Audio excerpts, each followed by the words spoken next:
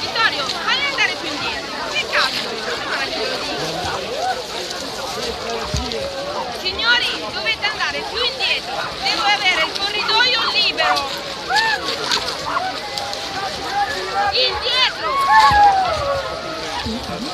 Indietro!